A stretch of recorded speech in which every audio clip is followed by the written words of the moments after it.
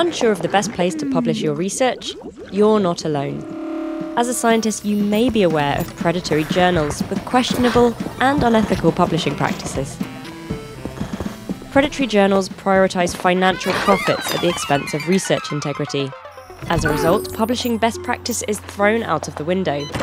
Published articles can be lower quality and sometimes full of incorrect or misleading information. This means that your good research may be published alongside fake science that could damage your reputation. Predatory journals can cause confusion and stress for authors trying to find a safe place to publish their research. How do you spot them, and what makes the best journals different? Think, Check, Submit is a checklist that helps researchers to select a trustworthy journal. Here are some things to watch out for when looking for a good home for your research findings.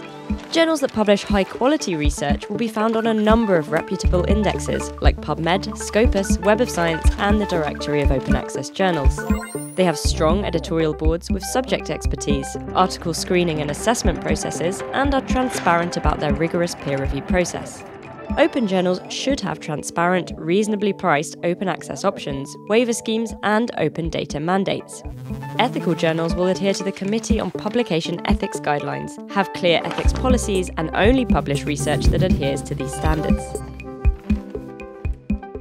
The Royal Society's mission is to recognise, promote, and support excellence in science.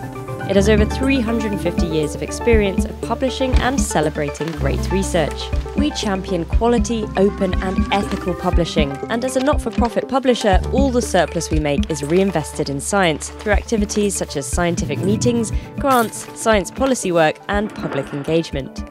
And we love what we do, working with authors as individual researchers rather than a name behind a paper.